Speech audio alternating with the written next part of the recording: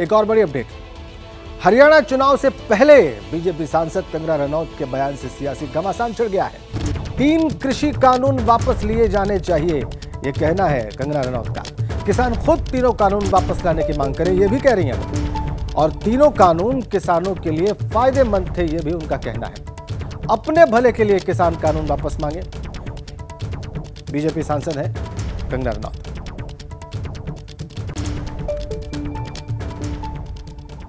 किसानों के जो लॉज हैं, वो मुझे लगता है जो रिपील हो गए हैं, वो फिर से लगने चाहिए। हो सकता है कॉन्ट्रोवर्शियल हो जाए, लेकिन मुझे लगता है किसानों के हितकारी लॉस वापस आने चाहिए और किसानों को खुद इसकी डिमांड करनी चाहिए। और ताकि हमारे किसान भी जैसे बाकी बाकी जगहों पर समृद्धि हो रही है, हमारे किसान की समृद्धि में कोई ब्रेक न लगे।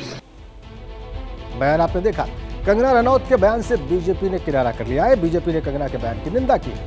बीजेपी ने इसे कंगना का निजी बयान बताया है और ऐसे बयान के लिए कंगना अधिकृत नहीं है, ये कहना है बीजेपी प्रवक्ता का।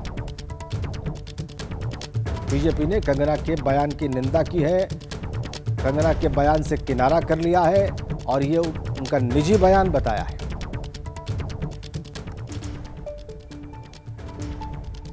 मैं बिल्कुल स्पष्टता से कहना चाहता हूँ, ये बयान कंगना रनौत जी का व्यक्तिगत बयान है।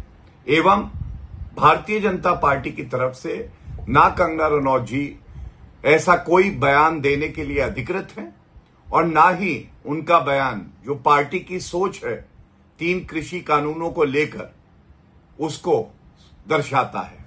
इसलिए उस बयान का हम खंडन करते हैं। कंगना रनौत के बयान पर घमासान मच गया है। कांग्रेस ने बीजेपी पर निशाना साधा है। काले कानून फिर लाने की साजिश है, ये बात कही है कांग्रेस ने। हरियाणा में बीजेपी को उसका जवाब मिलेगा, ये भी कांग्रेस पार्टी का कहना है। और आम आदमी पार्टी कह रही है कि कंगना के बयान पर प्रधानमंत्री जवाब दें। सियासी घमासान कंगना रनौत के बयान पर। बीजेपी ने किनारा किया। कांग्रेस ने बीजेपी पर निशाना साधा। कहा कि काले कानून को फिर से लाने की साजिश है ये बीजेपी की और हरियाणा में बीजेपी को इसका जवाब मिल जाएगा। आम आदमी पार्टी भी चुनाव लड़ रही है। उसका यह कहना है कि कंगना रनौत के बयान पर प्रधानमंत्री जवाब दें।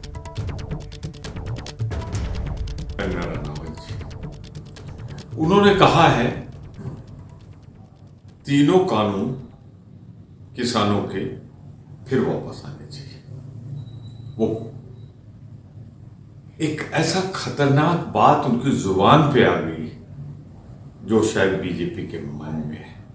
याद रखिए, जब तक कांग्रेस है, इंडिया गठबंधन है, हम भाजपा आपकी ये काली इच्छा पूरी नहीं होने देंगे।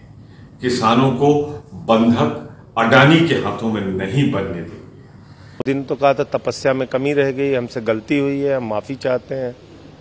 और उनकी सांसद कह रही है, फिर से लाना चाहिए, फिर से किसानों को मारना चाहिए, फिर से उनकी हत्याएँ करनी चाहिए।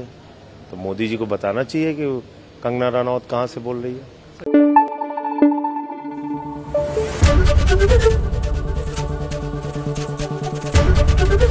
ABP news. आपको रखे आगे।